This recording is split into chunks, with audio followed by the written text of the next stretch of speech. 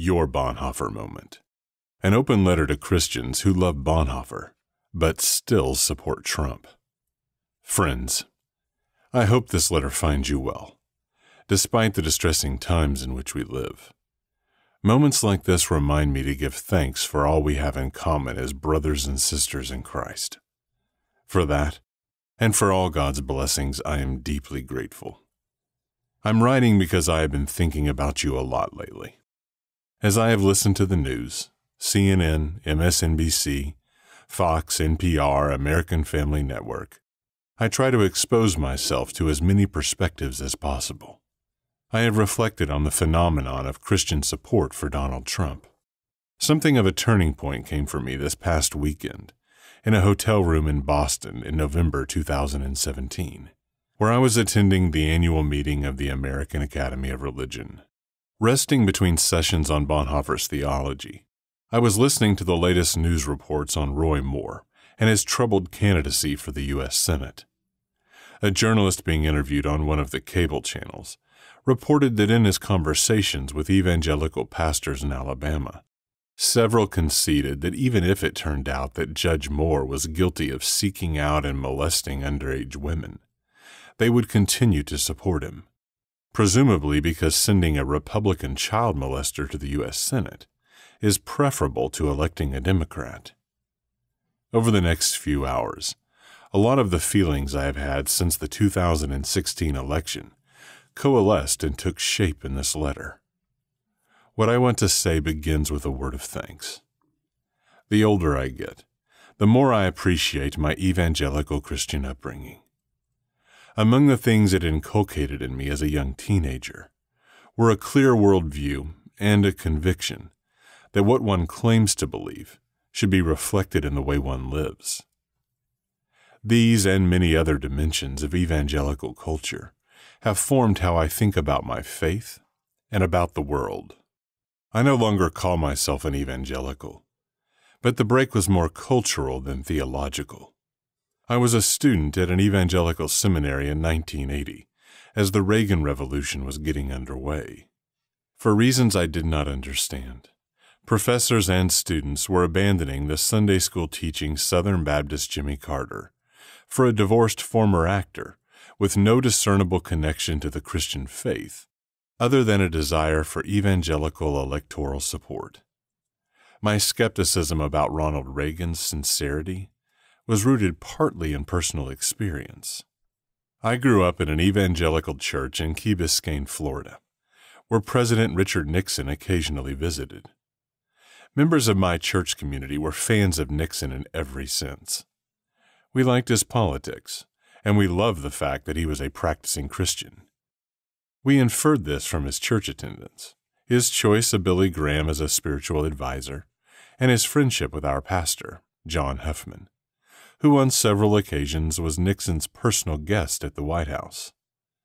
At the president's request, our church held a special Sunday evening service to honor the Paris Peace Accords.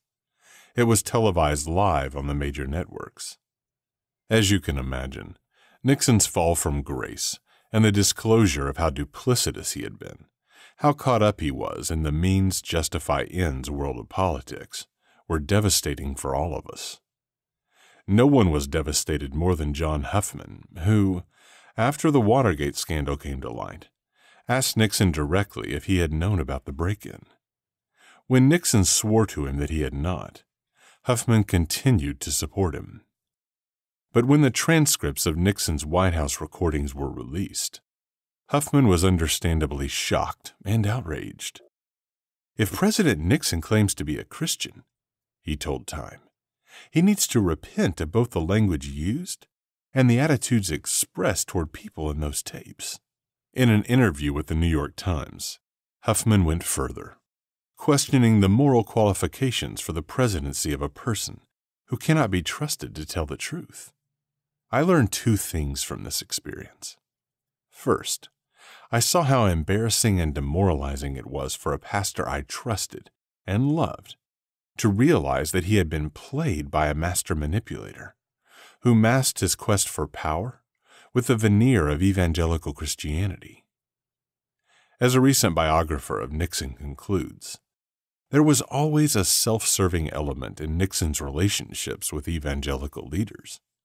When he knew he was going to run for president, he wooed them and they wooed him, the author writes.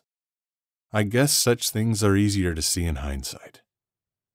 Second, I took a lesson in courage from John Huffman, who repudiated Nixon's actions in no uncertain terms, despite the high personal cost of doing so.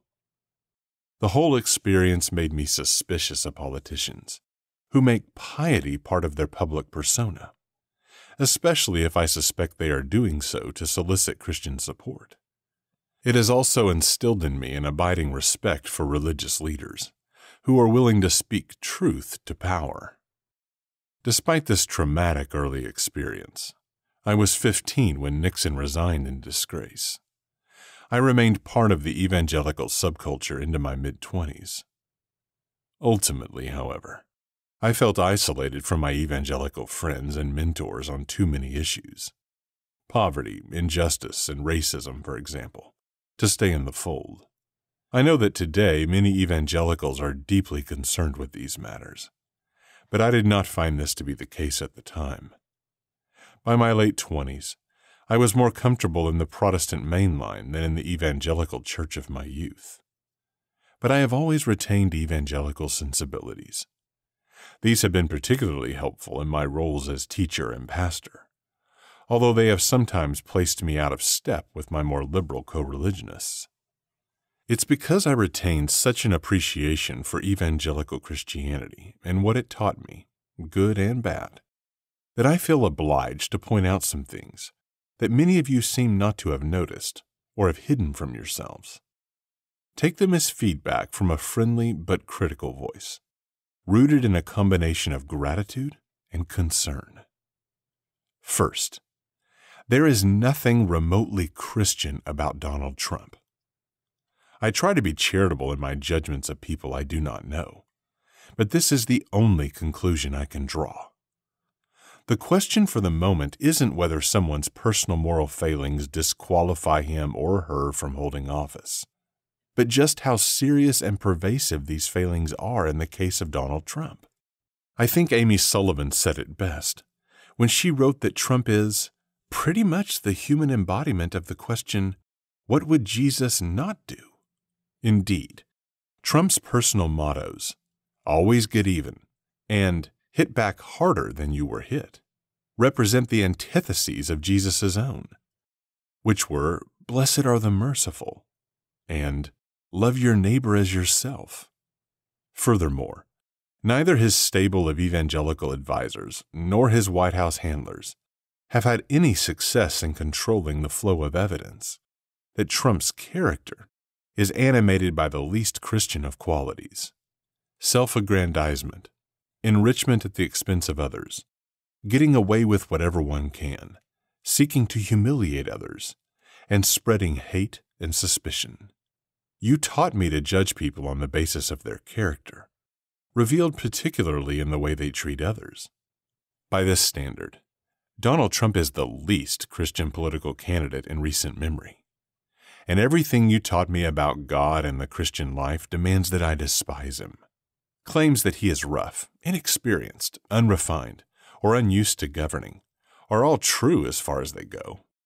But they do not address the moral issue you train me to recognize and take with utmost seriousness.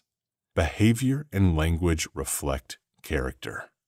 And we see a bit more of Trump's character every time he bullies, belittles, lashes out, lies, or lies about lying. Just to be clear, I'm not criticizing Trump's specific policies, about which reasonable people, even those who are faithful Christians, can disagree.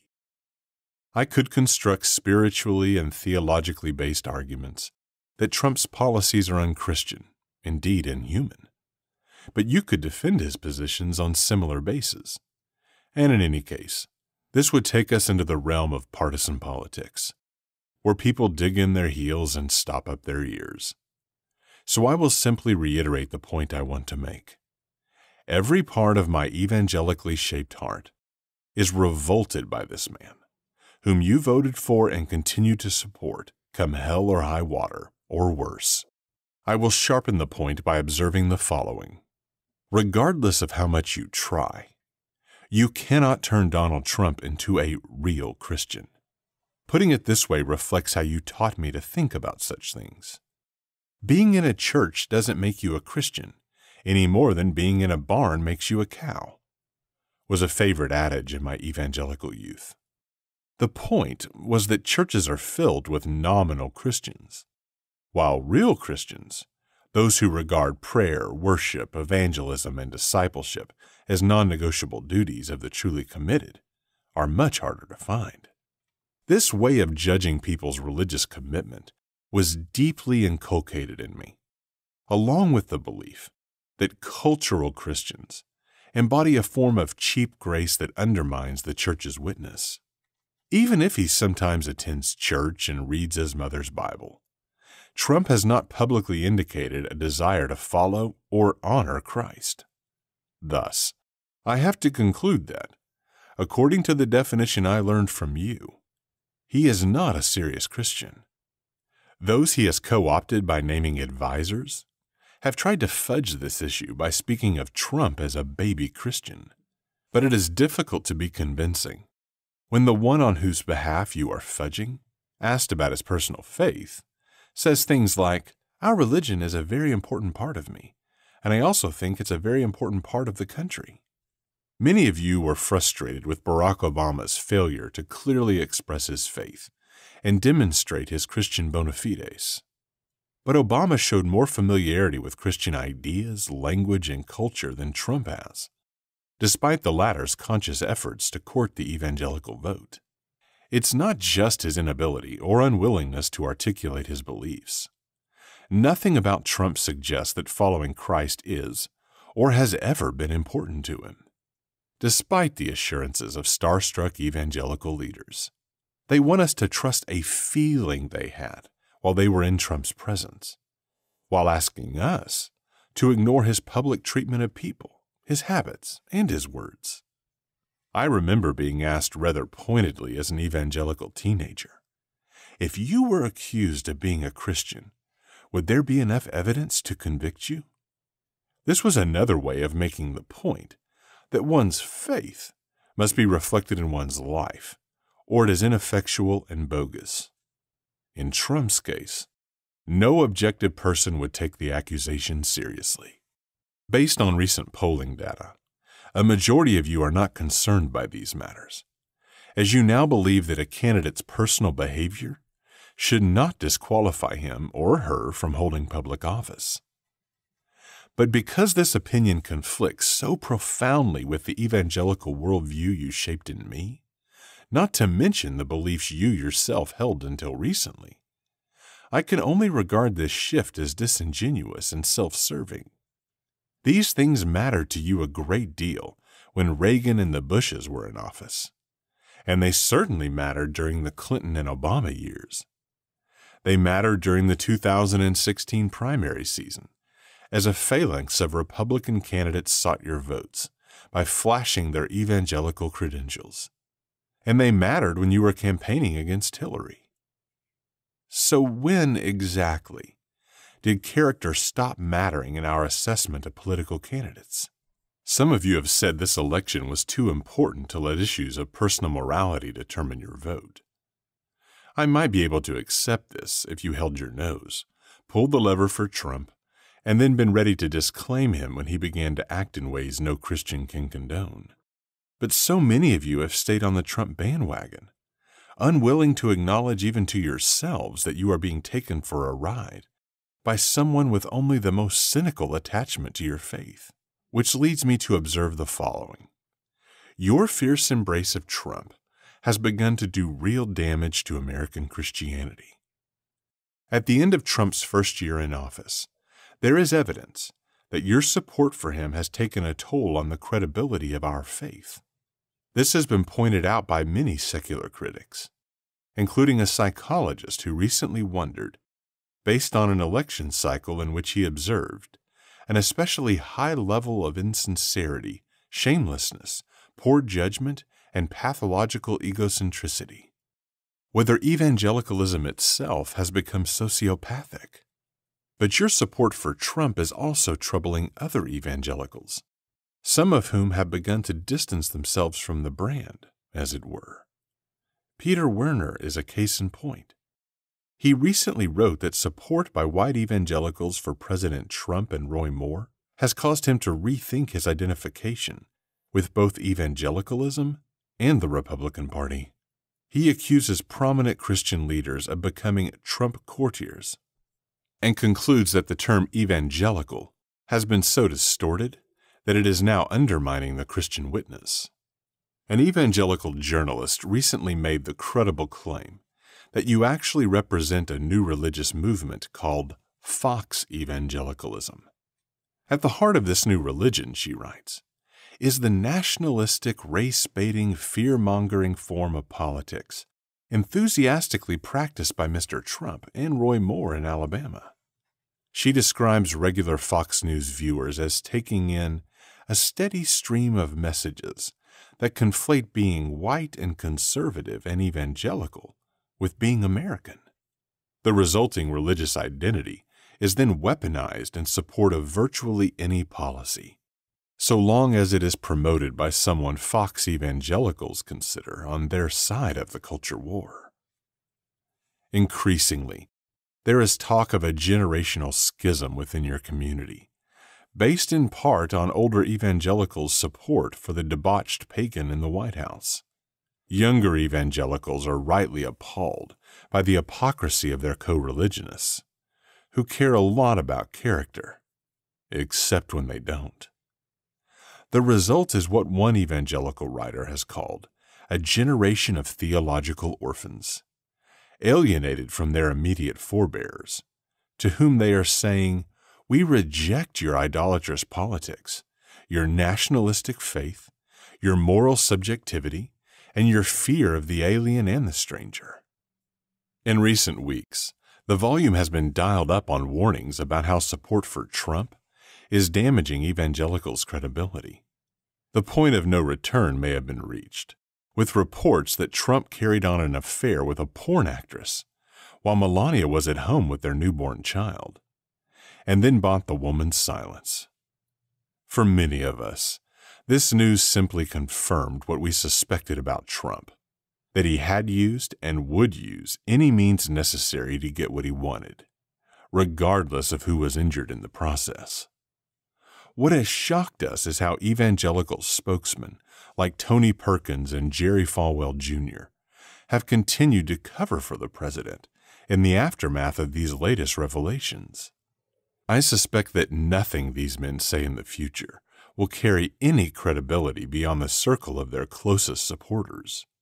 These leaders' responses to this latest scandal have led some to claim that we are now seeing evangelicalism's true colors. Support for Trump, they say, expresses not evangelical loyalty to the Republican Party, but long standing commitments to racism and sexism. It is not surprising that contemporary leaders are blase about reports of Trump's infidelity with a porn actress, Michelle Goldberg observes, when we recall evangelical support for segregation. For despite his louche personal life, Trump, the racist patriarch promising cultural revenge, doesn't threaten the religious right's traditional values. He embodies them.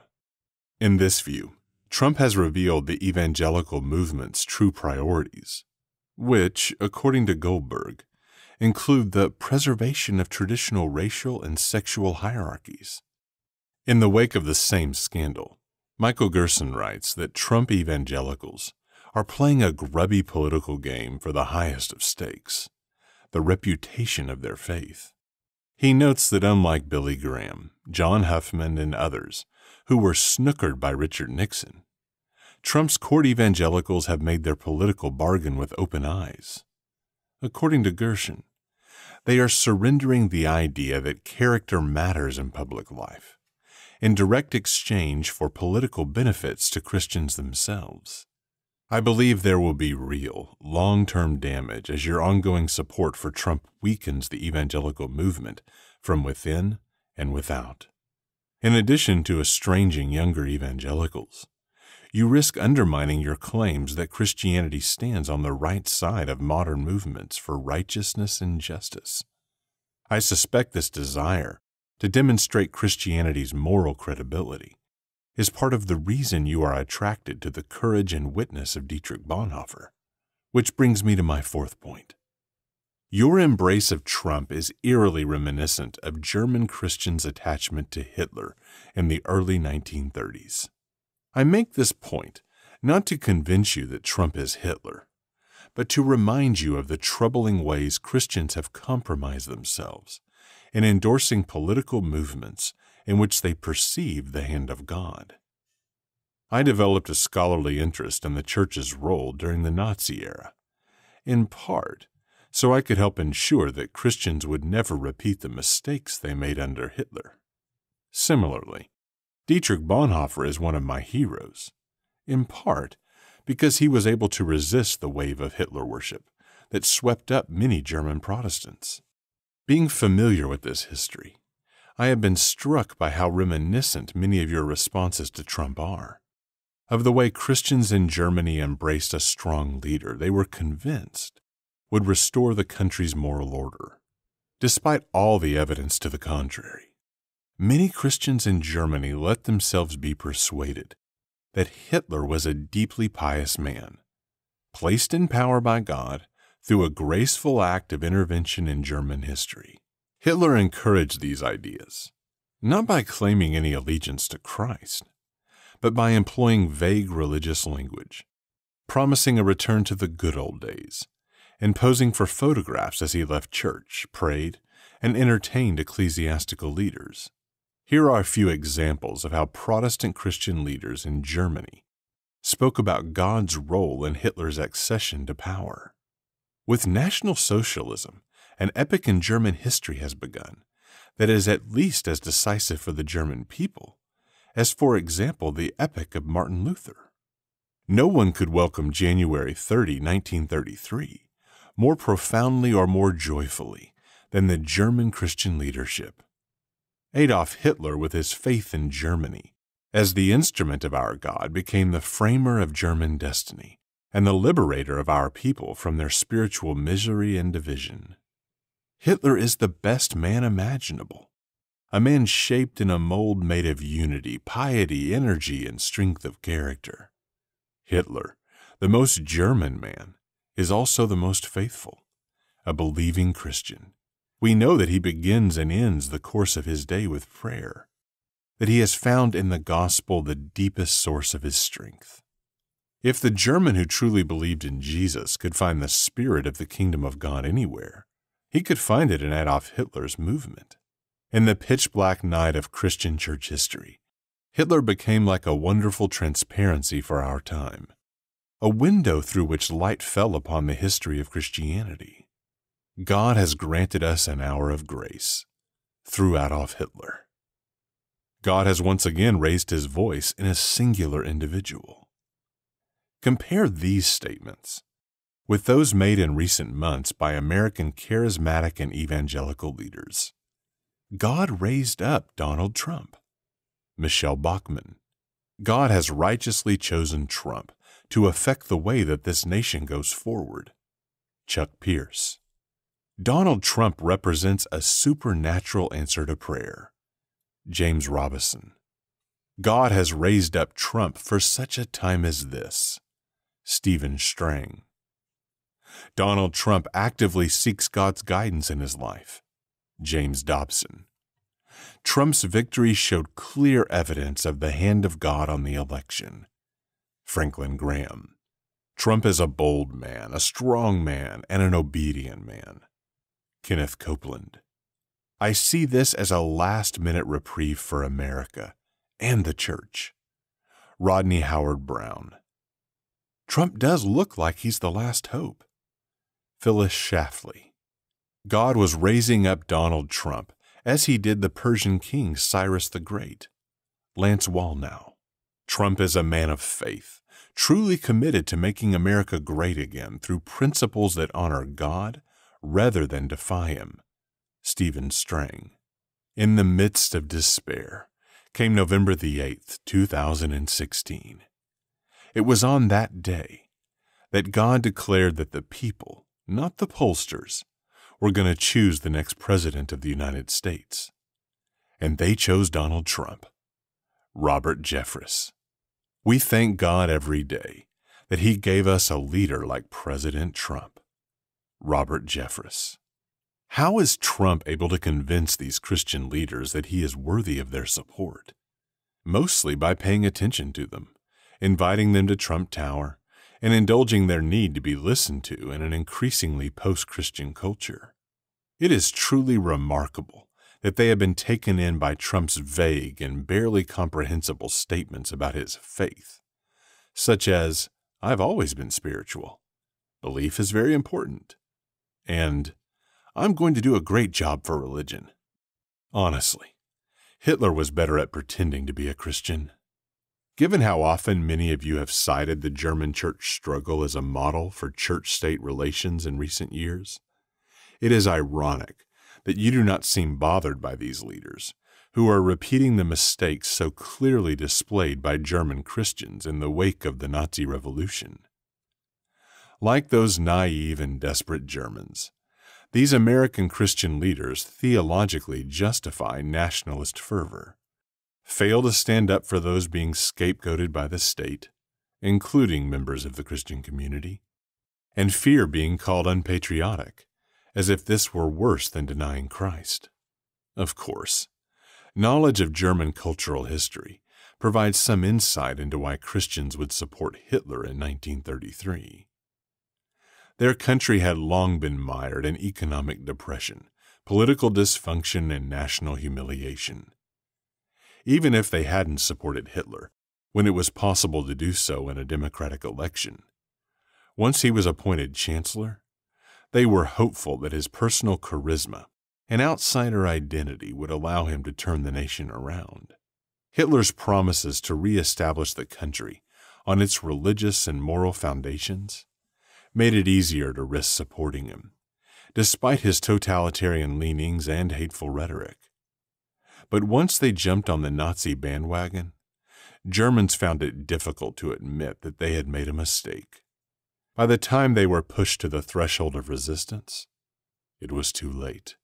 Likewise, evangelicals who voted for Trump can be given the benefit of the doubt for acting in rational self interest, given the options.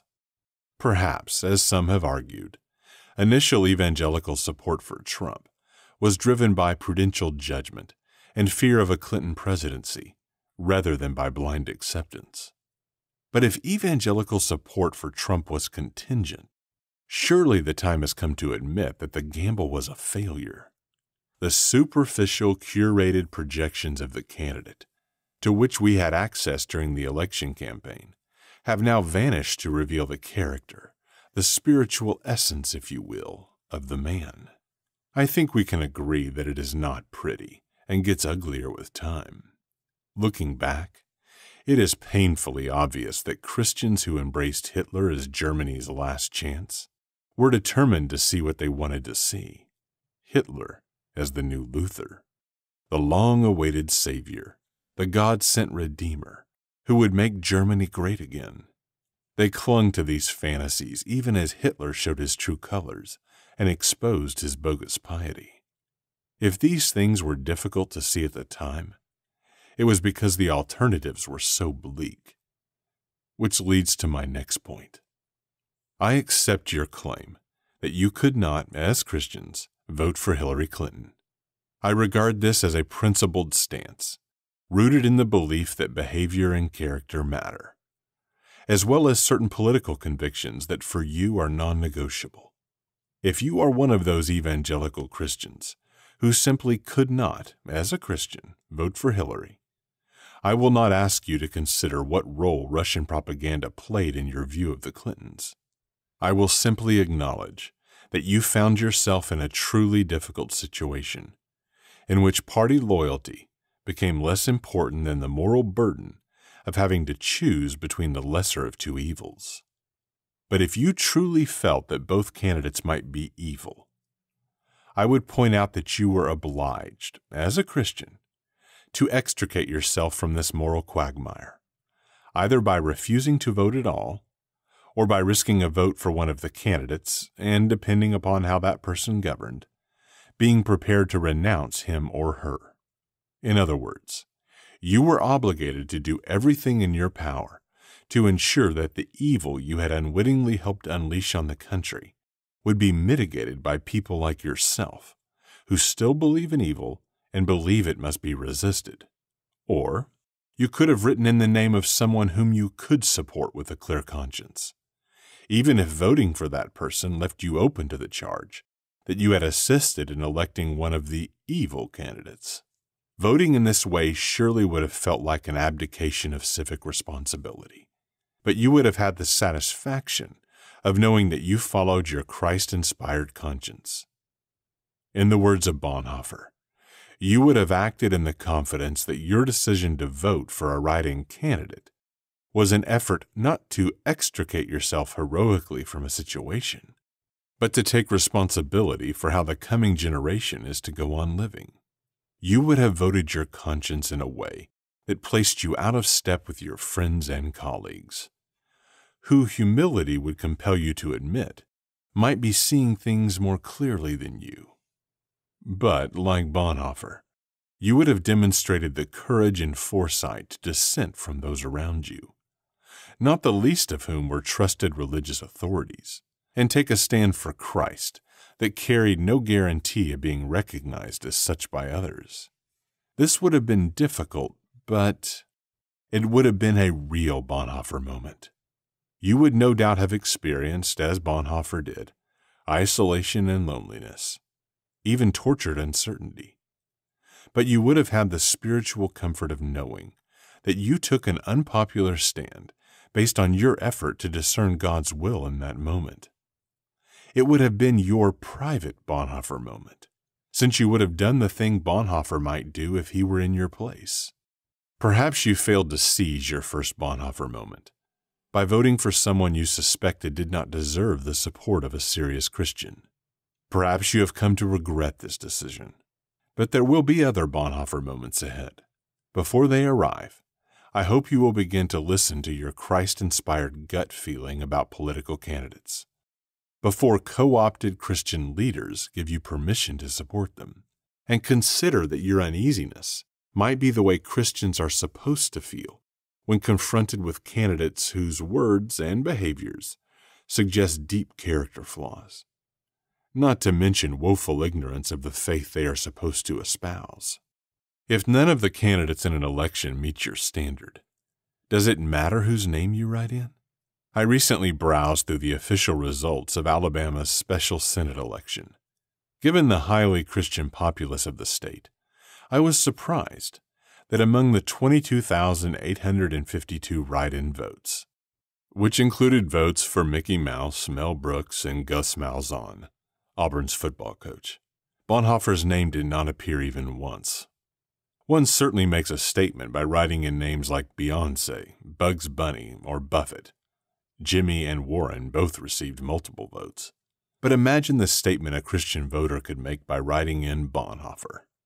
So the next time you are presented with a slate of candidates, consider each one on his or her merits. If you find that you cannot, as a Christian and a responsible citizen, vote for any one of them, write in Bonhoeffer. That will be a Bonhoeffer moment you can feel good about.